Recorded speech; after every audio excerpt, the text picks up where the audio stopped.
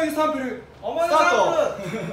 でこういう感じで、編集で後から。あえー、まあ今日はえっとトペコンに行っております。しております。荒栗町の。まずはってる？え？いや大丈夫。こちらこちらまずはちょっとマスターからちょっと自己紹介的なのを。もらってい。いですか自己紹介。あカメラに何こんな感じなんえなんなんて言ってんのトトペコンヒーローのテルです。どうも、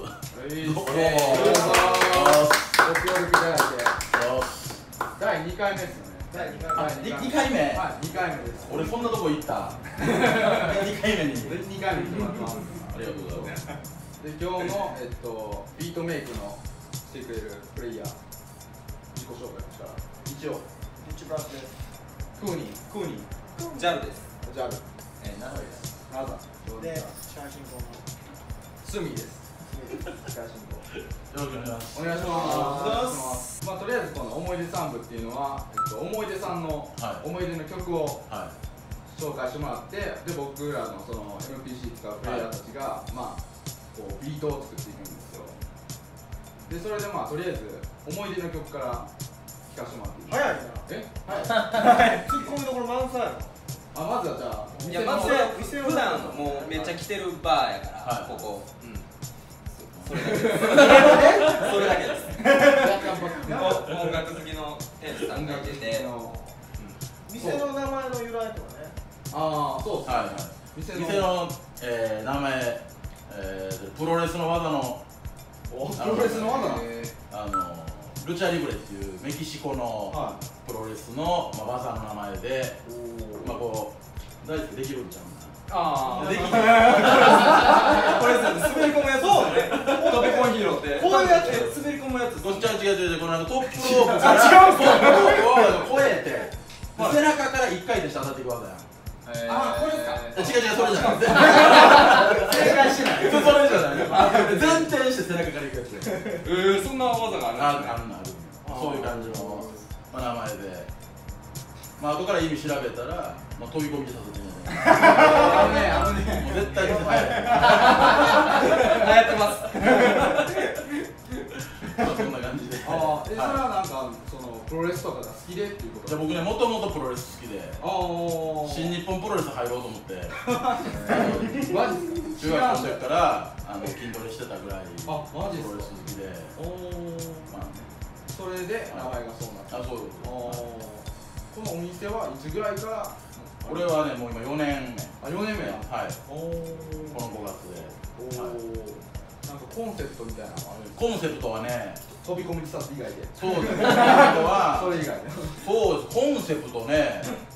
まあもう自分の部屋の延長みたいな。ああもうゆるゆるく、うん。ゆるくまあ、不定期やし。あー。不定期な不定期不定期なんですよ。日曜日は絶対休むけどあとはもう気分で。あ、気分であれ。もうその時のメンタルコンディションで。ゆるいっすねやってみたいみたいな。あそーうですねちなみに音楽とかはどういうジャンルが音楽はねもう僕はねもともとはい。あの僕あれなんですよ。パンクキッズやったんで。なるほどあのほんまにもうそうですね。あの、まあ、80年代とかのパンクが大好きで。あで、まあ、ずっとそればっかりやったんやけどまあ、このお店やる前ぐらいからかな、まあ、はい。いろいろ僕も年も、まあ、取ってきて、はい。い、ろんな音楽を聴くようになってきて、はい。今は、まあ、ほんまにいろんなジャンル。本当にもうエレクトロも好きやしロックももちろんポップスも好きやしはい。何でも、まあ、聴くんですけど、うん。一番はでもやっぱ好きなのはエレクトあエレクトロなんロがもう一番好おきね。おこれも後々付箋かもしれない 思い出が来た時に思いいやでも思い出サンプルサンプリングに僕そんなエレクトロ持ってきたら なんかちょっとあれかなと思って僕ほんまに自分のはむっちゃもうこのなんていうのやろもうその変わっ自分のそのもう音楽の聴き方が変わった。僕ももともと親父達がなんかねアナログのそのレコードを家に父さん置いてて。はでまあほんまにそのビートルズであったりとか、はまあそのセッペリンとかもそうやしまあその昔のほんまそのロックっていうのが家に日常からまああって。でちょうどね僕がその中学生の時かなは上がった時にこうパンクブームすごい。うんもうその全盛期やったんで、そのまあ今で言うたらそのメロコアっていうジャンルがまあはい呼ばれるようになってきたな日本でなんかそのハイスタンダードやったりとか、ああいうのがちょうどこの僕らもそう90年代の今のそのなんていうかなこの一番ほんまその走りの時やったんあでそれがもうほんまにね僕らもこ青春ってわけですそうそうそう青春時代の。うそう。いうなるほど。それはあれですか、はい。思い出の曲にやっぱ関係してくる感じなんですかね。行きます？行きます。行きますそれそれもちろんねやっぱりそれはねやっぱそれは関係してるんですよ。あやっぱ関係してる関係してる関連性があるわけですね、結構手強そうな曲が来そうな。そうですね。まあちょっと予想はまだ今のところできないです。ね、うん。全然わからん。全然。結構特殊な感じ思い出の曲は。はいえっとねそうですね。コツ聞くんでそういうところ。あはい。ちょっと伸ばして。ない、はい。伸ばせない。僕今もうパン言いそう言いたくなったら言ってもらって。言うてもらいそどうですか？フリートークこんな感じ。逆に、はい。そのおみバーやってる以外の仕事とかさあはいはいはい。そこ言いますか。おはいはいはいはい。お昼ねやってるんですよ。おまあ そうなんやです食うて。まあまあお昼は介護あ介護やはいね介護おお、はい。結構でも正反対じゃないですけどなんか、はいはいはい。ね、お酒のあれとなんかね介護って言ったら。まあそうなんですけど。そうなんです。お昼はもう介護やおおなるほどなるほど、はそれでまあ夜はちょっとはい趣味延長ですもんね、まあそんなそうなんですよ。その家の感じ。そうそうそうただただもうほんまにこう好きな音楽を大きい音でかけて。ああ聴けるっていう環境。ああお酒も飲めて。そうまあ僕お酒飲まないんでまあ。そうなんで僕もだからいたってもソフトドリンクだけで。あそうなんですか、はい。折り以外そう。あの飲んでもらってちょっと喜んでもらうみたいな嬉しいみたいな感じいやそんな全くない。あただ音楽聴きたいだけ。あああ聞きたいあなる もう全然人のこと言わない。自分自が分が自分が。いい環境で音楽聴きたいだけ。なるほど接点があったわけですよね、出会いというのはどんな感じなんですか？えなれそめの方から僕がお手伝いしてたショップに、はえーオーナーと知り合いではい最初知り合ったけど、おお店で。共通のっていう感じでそう。でお店行って。そう。でそれまあいつも来て音楽の話をしたりとか。そうあもうふもうそれも不定期やからもう俺もう店の前通って空いてたら入るみたいな。そうです。あーなるほどてかねうん。ゆるい感じ。まあゆるいゆるい感じ ででも結構な頻度開けてるから。調子いい時そんなにずっと休んでないから。調子で時はまあ結構開けてる。結構開いてる。週4ぐらいは開けるんやけど。調子悪かったらもう1日とか。だいぶ波が波が。波があるわけですねそう。思い出サンプル。いきますそろそろ行きますか。行きますか。はい。思い出の曲アーティスト名とアーティスト名。曲名の方お願いします。はい。お願いします。えババン。ー、ババンババン。ゼット・ケネディデッドケンですゼット・ケネディケネディですか？はい。大統領。大統領ですね。ジン・ F・ ケネディはいはいはまあこれアメリカの、まあ、サンフランシスコのバンドいはいはいはい。なんですけど、まあ、1970年代から活動してる、はいはいはい。まあ、そのパンクのおおまあなんて言ったらいいんですかね、まあオールドのパンクですよね。はい。のバンおおド、はい、これそれの、えー、サードアルバサードアルバムム、はい、おおもう結構向こうではポピュラーな人がこれはね、えー、インディー多分パンクを好きな人はほんまに好きな人だったら、もうあの教科書。い教科書？まあへー。歴史的なはい。バンドの、はえーまあ、サードアルバムいで、まあ、だからファーストが一般的には名盤って言われてるんやけど、はまあ、このサードアルバムはこのまあバンドのメンバー自身が最高傑作、いへー。まあ、言ってるまあまあ自画自賛してますよね。でちなみに僕このデッド・ケネディーズのアルバムで初めて買ったのがこのあ。サードアルバム。なるほど。フランケン・クライストっていうおアルバムですよね、それは、えっと、おいくつぐらいの時にこれはね僕がね中学校3年生。中3で？中3ですか？中3の時あのデッド・ケネディー、デッド・ケネディーズを。これいきさつも僕話するんよかった。全然話。あ全然それはあの今そう。はい。今今今まさに今今行きます今行きますじゃあこれはねじゃあ僕がもう思春期の時ですよねまだニキビ面の中学生やった時にあのーまあ多分みんな知ってると思うんですけどまあそのオフスプリングあはいと、えーグリーンデーグリー。ンではいっていうのがまあ流行ったんですよ、はい。それがまあリアルタイム僕らの中学校の時のリアルタイムで、あのーその当時あ違うこれ僕高校1年生の時や。あ高知高一の時。高一の時そう。だ中学校僕らがね1年生2年生ぐらいの時に、はい。あのそのまあパンクブームっていうのがまああって、はいはいはい。あったんです。よでまあ早耳のね、まあ、お兄ちゃんお姉ちゃんいてる僕らの同級生が「はい。おいこんなかっこいいバンドあるぞ」って言ってね持ってきたの。でその時ちょうど CD ウォークマンとかも出たてでちょっとそうちょっとなんかこうおしゃれにはこう音楽聴くって言ったら僕らもその CD ウォークマンに CD 入れて、はい。まあ、こう聴くっていう、まあ、スタイルっていうのが、まあ、その時に、まあ、僕らの中ではおしゃれやい。だからそれをまあその友達がこう何枚も CD 持ってないいっぱい、あまあ、お姉ちゃんがこうすごいロックとか、はい。まあ、そういうのが好きなお姉ちゃんがいててその弟がいっぱい持ってたでその中に、まあ、そのオフスプリングっていうバンドに僕が一番うわ何このかっこいいバンドってその当時なったんよはい。でこう裏をこうねひっくり返したらこうレコードレーベルが、まあはい書いてるんやけど、僕自分なりにこのバンドかっこええと。で僕家にあるおとんのレコード、はい。まあ、昔のロックとか遅い。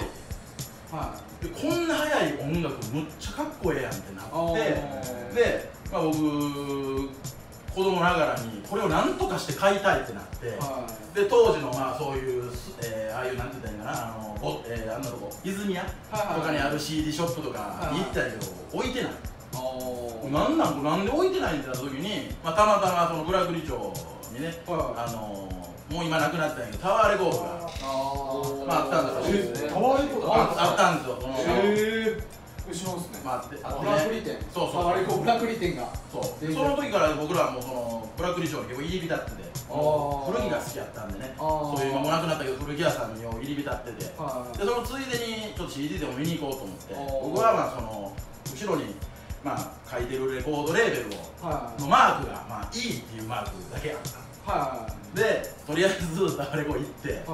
こう A からあ A, A からかな？A やったか忘れたけど順番にこうひっくり返して見ていくわけよはい。僕らを。はい。一個ずつはい。暇やから時間いくらでもあるから。見ていって E って書いてたらはこれパンク。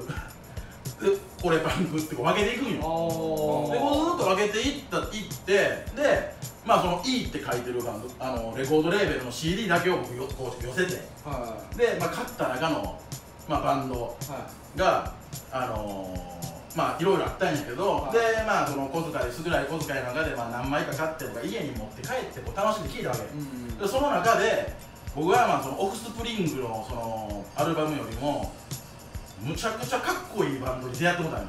おおそう中学校3年生ぐらいの時かな自分でこう見つけたわけこう一個ずつこうめくっていって、はい。でそれがまああのー、えー、っとねえー、っとねバッドレディションっていうはあのそれもパンクバンドい。はだったんやけどでたまたま 僕が買ったねそのアルバムっていうのはライナーついてるい。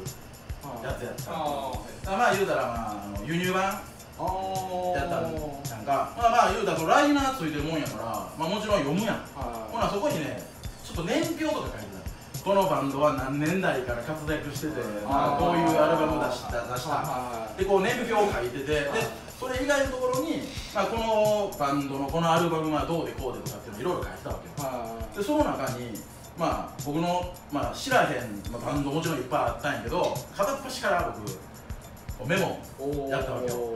で僕がその、まあ、バッドレージョンむっちゃかっこいいなと思ってるそのバンドが僕らが子供の時に、まあ、子供の時かなキッズの時にこれを聞いて育ちましたみたいなのがまあ書いてあるおおさらにさらにさらに。そのその人らがその人らが好きやったからね。そうなるほどっていうのがまああったんはい。でそれ書いてたんだけどはい。でも当時僕はそのまあパンクのそういうのが好きやったからはい。その人らのそういう古いはい。子供の時に聴いてた音楽がはい。どうせ古い音楽やろうと思って僕はまあ無視してたの。買いもせんと。はただメモ取ってあこんなバンドあんねやこんなバンドあんねやっていうのだけは分かってたよで、まあ、それからまあ僕もまあその中学校卒業してはい。で、まあ、そのもうパンクにねもうすぐどっぷりハマったの。はいその時ちょうどだから高校1年生の時にまあほんまそのさっき言ったハイスタとかのその日本のメロコアブームではすごいもう僕らの同級生、まあ僕三重県の高校行ってないけど、まあ、あの訳あって半年でまあ帰ってきたのあはい。まあ、まあ、3ヶ月4ヶ月ぐらいそう諸事情があって帰ってきたの。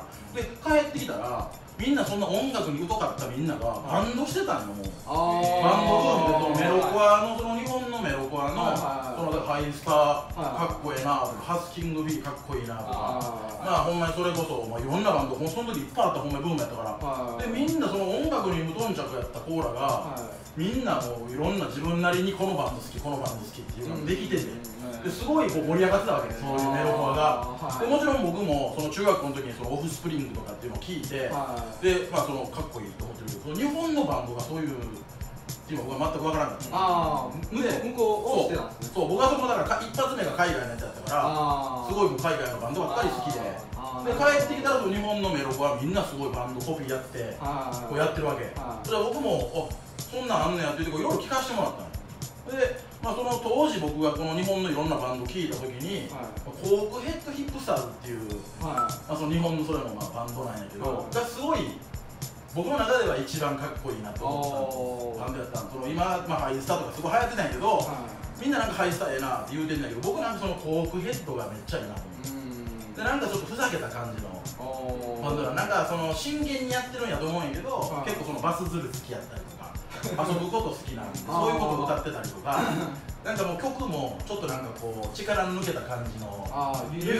い感じなんやけどもすごいこうなんかメロディーもこうはっきりしててなんか、まあ、すごいなんか僕はなんかめっちゃかっこいいなと思って、うん。まあ、それを好んで僕が聴いてたんですあででそんなかこんなでまあそういうのをまあ聞くようにまあなったんやけど、はなんかやっぱりそのどうしてもやっぱ僕海外の方がやっぱ好きやったんで同時にそのまあそのいろんなまあ、えーまあ、エピタフレコードっていうそのレーベルやったりとか、まあ、はファットレコードって言ってまあそういうレレコードレーベルとかのアーティストを好んで、まあ、聴いてたんですほんじゃまたライナーついてるやつがあったんよ。でみんなそうライナー D でまたでそのレッド・ケネディーズっていうやつが出てきたのよ。はで僕らも若い時これ聞いたとかって言うんでみんなデッド・ケネディーズを聞いてるのへー。僕のその時好きだったはそのまあそうやね。だから東海岸西海岸のファンクはいバンドらがこぞってみんなデッド・ケネディーズを聞いてるので俺もあそういえばデッド・ケネディーズって前俺メモったなって思ってで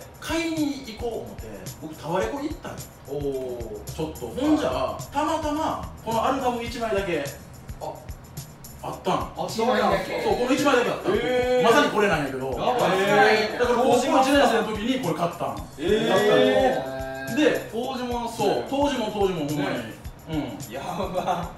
でそれをもう僕はもうだからすすごいテンションではい家で聴いたんはじゃあ、まあ、この1曲目からなんやけども1曲目がえっとね何だかな「スープイズ、えー、グッドフード」っていう曲。いスープイズグッドフード。っていう曲が一発目なんやけど、はい。それがかかった瞬間にコークヘッドヒップスターズだったのよ。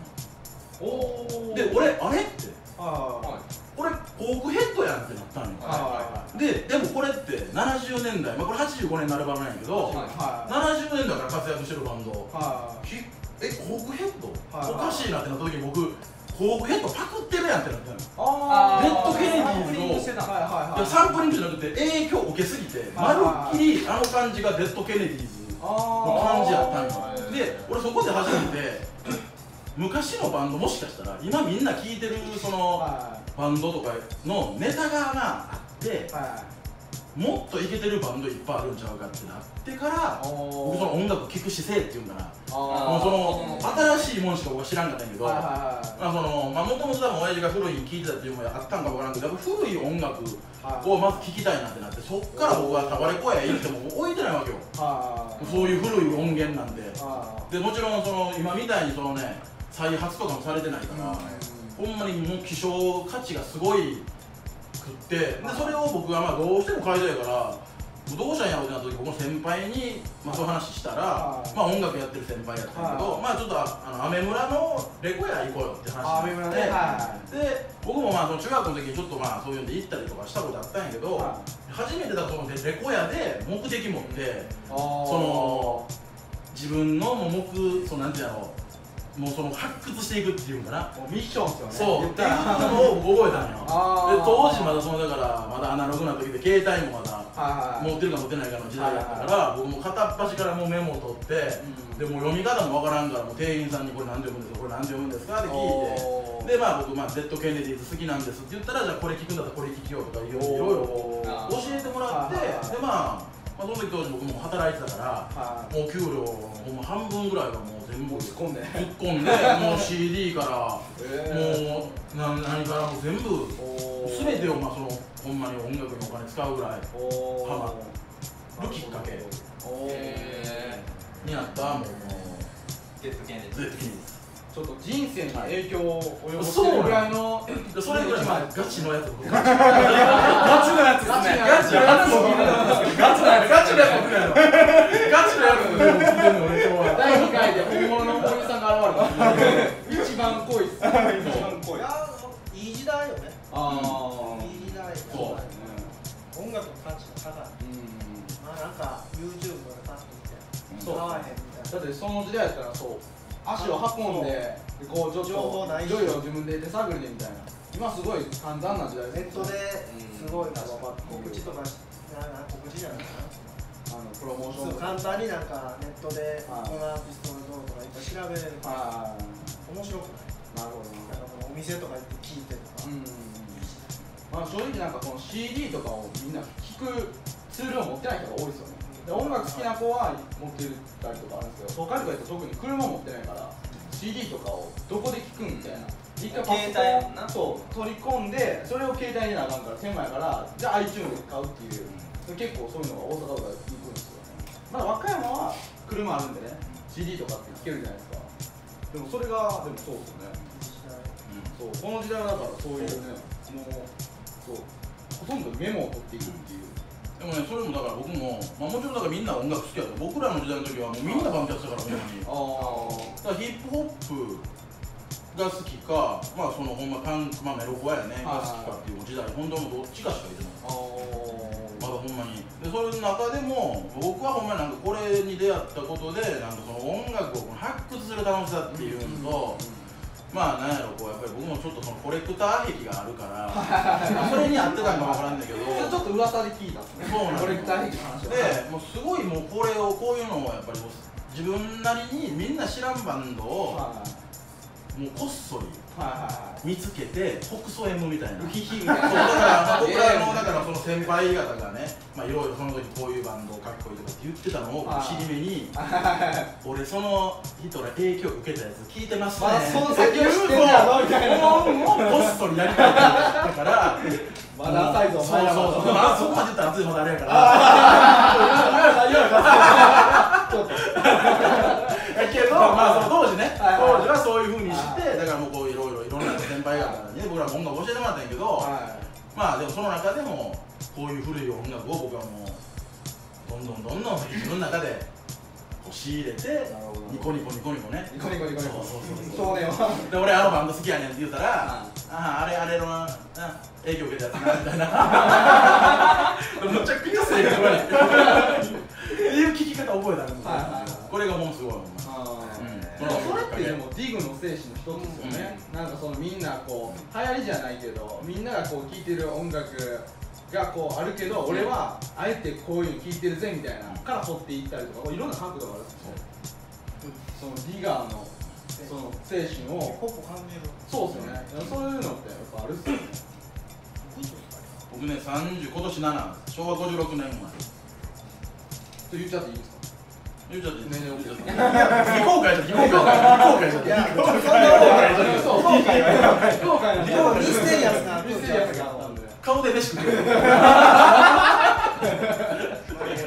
るほどなるほどということはこのアルバムの1曲目そうだから曲で言ったらね多分絶対もっといろいろいい曲あるんで時計に出てはいはいけど僕がその一発目にだってかけてさ CD プレイヤーで流して出てくる1曲目や。んそのだからだからもう絶対その1曲目が僕の中で、そこをそうフォークヘッドやんって思わんかったらその昔もそういうバンドに興味もなかったかもわからんねん。あうん、でもフォークヘッドパクってみやんって思ったことでつながって古いやつを聴こうと思った。じゃあもっとみんなのその言ってるこういう番組の元ネタがあるんちゃうかっていうそのなんか元ネタ探しが楽しくなってるあちなみにこの EBSP で「ジャムって曲があるんですけどそれはあの僕てるくんのとこでよう通ってていつもあのフレッシュなちょっと音楽情報教えてもらってちなみに教えてもらったやつでサンプリングして作ったやつです。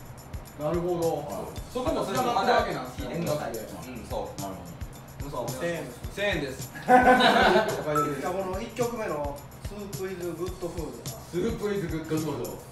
そのなんか名前だけ聞いたらすげえなんか優しそうな感じなんですよね、はい。でもそのまあ聞くまでわからんすよねほどいきましょうかでは、よろしくお願いしますお願いします OK です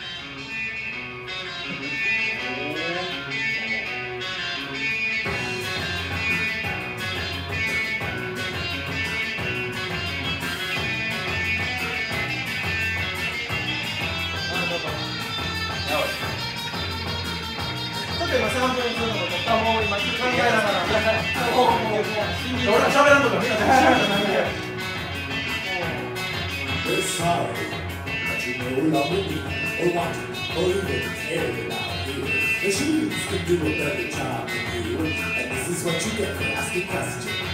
The limits agree, sacrifices must be made. Computers never go on strike. To save the working man, they gotta put him out the pasture.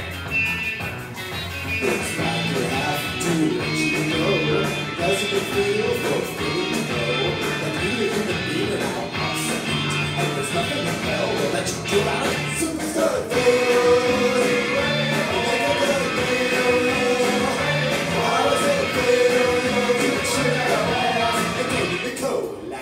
Track. 思い出サンプル